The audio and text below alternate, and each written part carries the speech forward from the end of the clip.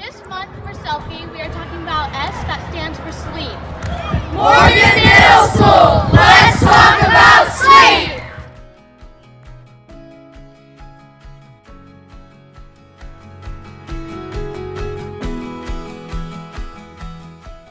Teens need 9 to 11 hours of sleep per night.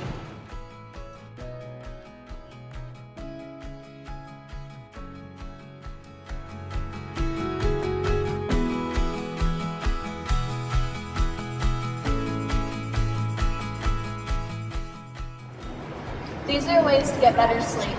Having a bedtime routine. Don't drink caffeine after 2 p.m.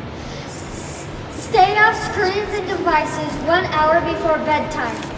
Dimming the lights 30 minutes before bedtime can help your mind fall asleep. Sleep is important.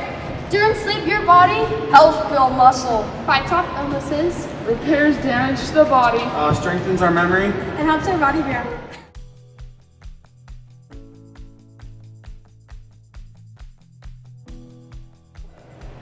This week we are having a sleep challenge.